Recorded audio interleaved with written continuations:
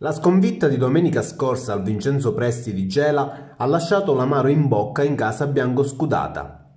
Il calo di tensione nei minuti finali o solo tanta sfortuna ha già lasciato il segno durante la stagione e i ragazzi di Alessio Sferrazza cercano di ritrovare la vittoria domenica pomeriggio al Tomaselli alle ore 15 contro il Cus Palermo, squadra che occupa il penultimo posto in classifica.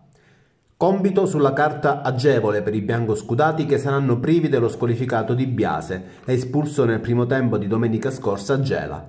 Intanto, in settimana è arrivato l'annuncio di Luca Giovannone che dalla prossima stagione diventerà il nuovo presidente della Nissa.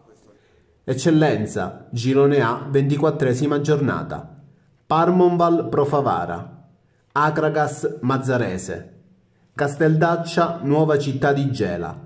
Leonfortese Don Carlo Misilmeri, Mazzara Enna, Nissa Cus Palermo, Oratorio San Ciro e Giorgio Castellammare, Sciacca Resuttana.